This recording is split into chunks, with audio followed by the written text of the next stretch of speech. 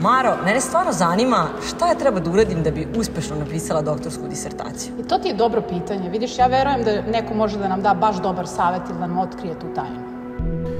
Nekad je izrada doktorata bila veoma ambiciozan poduhvat. Ljudi su pisali dugačke doktorate koji su gotovo bili vrhunac njihove naučne karijere. U današnjem sistemu doktorati su zapravo jedan školski rad koji buduće naučnike kvalifikuje za budući naučni rad i zato mislim da doktoranti treba da pristupe izradi doktorata racionalno. Nauka na izgled je nešto što se radi po nekom šablonu, po nekoj šemi, po, e, ali to nije tako zapravo. Pa, ako hoćete da bude prava nauka, a i doktora treba da bude prava nauka, onda treba da pišete ono što osjećate da treba da kažete na startu kada počinjemo da se bavimo doktoratom to sve izgleda mnogo strašno i mislimo da nećemo to nikako uspeti, ali onda kako vreme teče i kako se pisanje, kako se pisanje razvije, kako pisanje odmiče, shvatimo da se doktorati dele na savršene i završene. E, za početak, naši doktoranti treba da odaberu temu koja je njima iz nekog razloga zanimljiva e, i o kojoj bi oni želi više da saznaju i da pronađu neka konkretna rešenja. Treba da se potrude da pristupe radu veoma kreativno i naravno uvek je potrebno da imaju svoj kritički stav i osvrt na teme koje obrađuju. Zapravo tema je ono što vas nosi, tema je ta koja vam daje motivaciju i nemojte da dozvolite da vam neko drugi nameće temu, tema mora da bude prosto iz vaše glave, da izađe, da bude ono što vas zanima. Ako već treba da dam praktičan savet, on se tiče činjenice da je pažnja kao neki mišić koja kada se mnogo koristi, zamori se. Moj savet jeste da se tada opustite, da pokušate da povratite pažnju šetnjom, nekom opuštajućom aktivnošću poput meditacije, a zašto ne, kognitivni psiholozi kažu da je i seks dobar za opuštanje spremnost e, za recimo otprilike 5 sati sna tokom, na primer, bar jednogodišnjeg, ako ne i dvogodišnjeg perioda. I naravno spremnost da što više rade na usavršavanju stranih jezika i poseta stranim bibliotekama preporučujem svim doktorandima da posete neki od instituta kojih ima jako puno u Evropi u zavisnosti od oblasti prava kojima se bave i da tamo obave istraživanje i delom da napišu svoje doktorske disertacije. Mislim da je vrlo važno da stupe u kontakt sa svojim kolegama u inostranstvu i da sa njima pokušaju da razmene što je više moguće iskustava, nedoumica, pitanja i da vide da li je to što oni rade u skladu sa onima što se radi u svetu, jer suprotno to onda nema mnogo smisla a kada imate priliku da vidite svoje kolege iz svih krajeva sveta kako pišu svaki dan okruženi knjigama, a zaista to vam daje motivaciju i vidite da niste sami. Znajte kad je dosta. Doktorat nije vaš poslednji, nego vaš prvi ozbiljan naučni rad.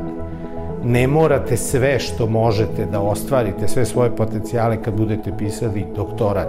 Kada radite ono što volite i što vas interesuje, nema šanse da ne završite, niti ima šanse da to bude loše.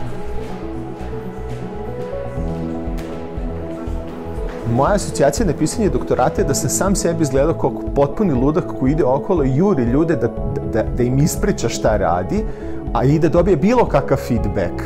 Jer zapravo, o, mislim da je problem sa kojim se doktoranti suočavaju to da dobiju bilo kakav feedback, da im neko objasni da li to što rade valja ili ne valja. Moje prve asocijacije nisu naročito prijatne jer je to bilo vreme velikog odricanja i teškog rada, ali mi je najvažnija asocijacija to da sam stalno sebe uvravio da će sve to proći i kada sve bude bilo gotovo, otići ću mesec dana na neko more da se odmorim i zaboravim na sve. To je proces kada ne radite više ništa, osim što jedete, spavate ne puno, čitate i pišete. I uglavnom pišete tu poslednje godinu, dve dana, tako da tih godinu do godinu i po do dve nemate život, osim pisanja, odnosno završavanja disertacije. Dok su drugi provodili svoje godišnje odmore negde na moru, ja sam svoja leta provodila u Hamburgu pišući doktorsku disertaciju. A, jako puno kafa, da, jako puno kafa i to je trajalo 3 do 4 godine, tako da, veliki poduhvat. Moja prva asocijacija je stres. Zato što sam ja uh, moje doktorske studije, doktorski rad završavao kad sam se selio i kada sam sređivao stan u koji sam suseljavao sa svojom ženom i svojim malim detetom tada, prvim, i e, rad na doktorskoj disertaciji i saradnja sa majstorima je nešto što čoveku može da prouzrokuje određene koronarne tegobe. Tako da ja od tada pijem leko za pritisak. Znam da mi je uvijek prijelo kada završim ceo dan sa radom na institutu ili kada idem tamo da čitam i to me onako smirivalo i to me onako bio neki vid odmora od tog rada na institutu i bavljenja pravom i pisanja doktorske disertacije. Znate, ja sam svoju tezu, odnosno gro moje teze pisao u Hamburgu. Verovatno ne bi ni napisao da se je pisao u Beogradu, tad su već postojali mobilni telefoni i broj uznemiravanja dnevnih je bio preveliki, pa sam otišao u inostranstvo da igram. Znate, kad odete u inostranstvo, onda morate da prihvatite i te strane običaje. Jedan od tih običaja je da, znate, oni igraju futbal i kad je kiša. Tako da sam ja igrao futbal i bio sav blatnjav u pauzama pisanja svog doktorata.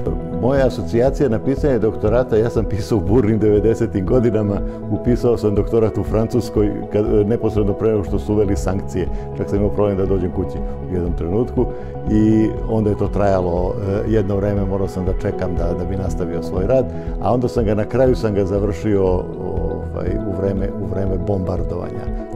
Bio moment kad sam, kad sam završavao u zaključku čak koji sam pisao u vreme bombardovanja i pominjem to. Ja se nadam da e, mlade kolege neće biti u toj situaciji u kojoj sam bio ja.